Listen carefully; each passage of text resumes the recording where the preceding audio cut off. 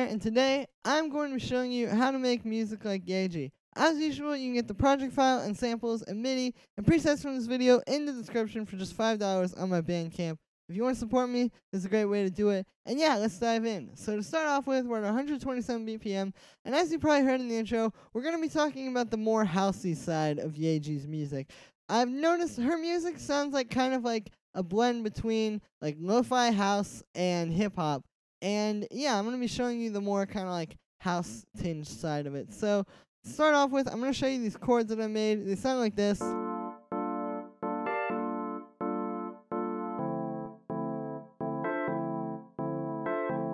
So these have something going on that allows me to talk about something I want to talk about, which is interesting chord shapes. So as you can see here, these aren't just basic triads. These are all actually minor ninth chords. And this is something that I hear a lot in Yaeji's music. Like she uses a lot of minor ninth, minor seventh, major seventh, mi- major ninth, all that kind of stuff. These different sort of like jazzy and more interesting kind of takes on the basic chord shapes. Um, so I recommend getting into some of those and looking at, like I said, like jazzy chords. Um, honestly, if you look up house music chords, you'll probably find a lot about this kind of stuff. Um, but yeah, so like what I did here, for example, is I have this pattern basically where it goes between G minor 9 and D minor 9, and then it has these little octave jump up points here like this and this. Um, but these are all just octaves of the same chords, so nothing really too crazy there.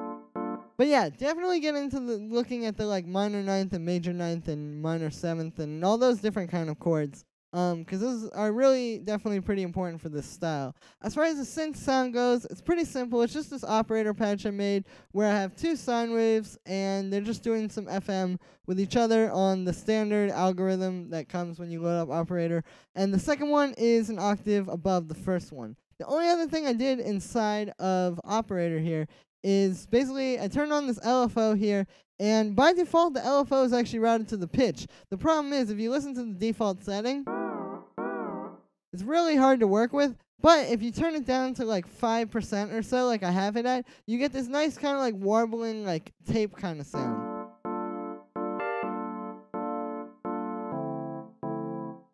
So you can hear when I turn it off, it, it's not as kind of like nice. Um, and yeah, so the way you do that is again, just turn the amount down. Five, I have it at five percent, and then the rate, you know, like somewhere in the middle. You should be pretty solid. Um, as far as processing goes on this sound, I have this reverb, which all I really did on here was I turned the decay time down and the size down, and so it's just a very subtle reverb that's just adding a little bit of ambience on the end of each note. Um, and just kind of helping to sort of bring it to life a little bit and not have it just be like a sterile, cold kind of digital sound. You can hear it just adds, like I said, that little bit of life to the sound. Um, and the only other processing I have on here is this EQ8, which is mostly just cutting out the low end. Uh, but it is doing a little bit in the high end there as well. Um, and this just kind of helps with the sort of like lo-fi sound and making it sound kind of like a cassette or like a VHS or something like that. Is like cutting out the high end, and you'll see I did it a lot throughout this project file. Really helps for that. Um, so next sound here is this bass, which sounds like this.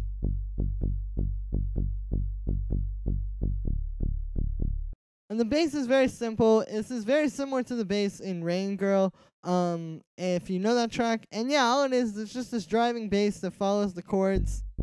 And then the synth sound is really simple. It's just operator, um, but it's only one oscillator, so no FM going on. It's just this saw wave, and then I have it going through the low pass filter with a little bit of an envelope. The envelope isn't too high because if you if I turn up the envelope too high, you'll hear kind of what I'm talking about when I say that it gets like a little bit too kind of like bright that way. Whereas this is just like a nice little bass kind of thump almost. Um, so yeah, that's a pretty simple sound. It's just kind of like a nice old school kind of house bass, I guess. Um, and then yeah, the next thing I want to show you are these vocals. And so I want to preface this actually and say I wasn't going to like I wasn't going for an exact copy of Yaeji here. These vocals kind of sound like her, but obviously, you know, it's kind of hard to emulate someone's voice. But what I did want to use these as an example of is I want to use them as an example of the processing that Yaeji uses on her voice because there's kind of like a few things that I think really make it sound like her that she does that I wanted to cover here. And yeah, so basically the vocals sound like this. Imagine, imagine. So kind of sounds like her, but again, the main thing here is the processing. So the way Yaeji usually processes her voice is it sounds kind of lo-fi, and the way that I got this is basically using an EQ. So what I did here was, like I was saying with the chords, I cut out the low end. Um, and that definitely helps a lot. I'll show you without the EQ Imagine, and then with. imagine, So I cut out the low end, and then I added this little bump here up around 10k, imagine, which I'll show you without it. imagine, it's kind of just like cutting out that little bit of like really sizzly high end and then boosting around there in a way that just kind of gives it like I said like that kind of like nice old school lo-fi cassette kind of sound.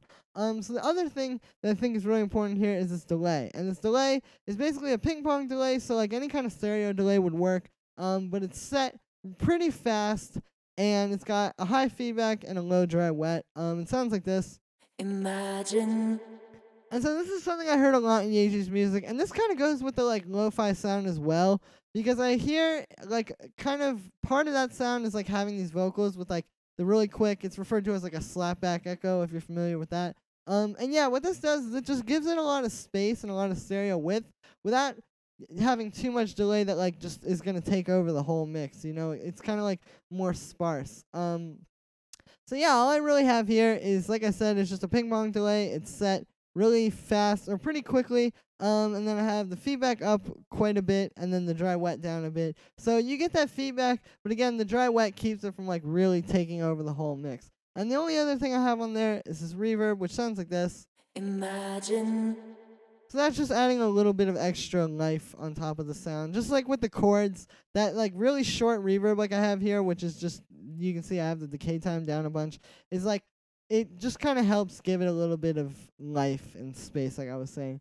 So the next thing I'll show you are the drums, which sound like this on their own. The drums are pretty simple. Um, they're basically this rim shot and then a few hi hats and a kick. Um, so the rim shot sounds like this, and all it is is it's this rim shot sample. I'll show you the original one. And then basically all I did was I put it in here. Um, then I put this EQ on it again, cutting out the low end and cutting out a bit of the high end, but not too much, just to give it that lo-fi kind of sound. Um, underneath that, I have these reverb rim shots, which is something I heard in Raingurl and something that I hear actually a lot in Yaeji's music, are like little kind of spacey percussive elements like this. So what I did basically here, it sounds like this, is I took these two rim shots, this one and this one, and then I put them through this reverb and just put it on basically at the end of every two bars on the four. If you don't know what I mean, like counting these as quarter notes would be like one, two, three, four. So I put it on the four of every two bars basically, and it just adds a nice little transition element. It kind of like tells you, you know, it's like, oh, this part is over, time to go to the next chord or whatever. Um, I'll show you in the full mix. imagine, imagine, imagine, imagine. So I mean, it's subtle, but again, it just kind of adds a nice little transition element. Um, so I recommend trying that in your tracks. Um, the next thing I'll show you are the hi hats, which are pretty simple. They sound like this. So the first one is this open hi hat, which sounds like this without any processing. So that's the dry sample that I was working with. And then I put this EQ on it. And again, just sort of setting like a band pass with a little bump in the high end, just to give it the kind of lo-fi sound. As far as the close hi-hat goes, it sounds like this dry. So I just have that playing eighth notes, um, which is something I heard again a lot in Yaeji's music. Like she'll have a hi-hat playing eighth notes like this, and then an open hi-hat on the upbeats, like that. Um, but yeah, and then so all I have here is it's just this dry sound, and then I put another EQ8 on there. I think that might be the same one from the open hi-hat, honestly. Yeah, it is. So it's just the same kind of thing, cutting out the low end, boost, boosting a little bit in that one high end spot, but cutting out the high high end. Um, and then I added this little auto pan on there because there were kind of a lot of things going on in the middle of this track, like stereo field wise. So I wanted to add this auto pan to this little hi hat, so it could just kind of be moving around throughout the track, and it just helps to give some space in the mix. Um, so next thing I'll show you is the kick, which is pretty simple. I didn't do anything to it. It just sounds like this. Um, this is just like a Yaeji style kick, like kind of just deep and boomy and like nice sounding. It fits well with the bass. So, yeah, and then the only other thing going on here is this cassette noise, which sounds like this. It's very quiet. Um, it's just a cassette noise sample. There it is, a little bit louder. Um, then all I did on that was I just cut out all the low end, because as you can hear or potentially feel, there was just a lot of low end rumbling going on in the sample. So I wanted to add that filter to cut that out. Um, so yeah, I mean the main things to take away from this are like the way the vocals are processed. Again, just trying to make them sound lo-fi with the EQ and then the tight delay, and then all the stuff I was saying about like the chords and the uh and the drums. And so yeah, so that's gonna be it for today, guys. Make sure to let me know what you think of this video in the comments, and make sure to like this video and subscribe, and maybe even share the video if it really helped you out. I will see you guys again tomorrow with another tutorial.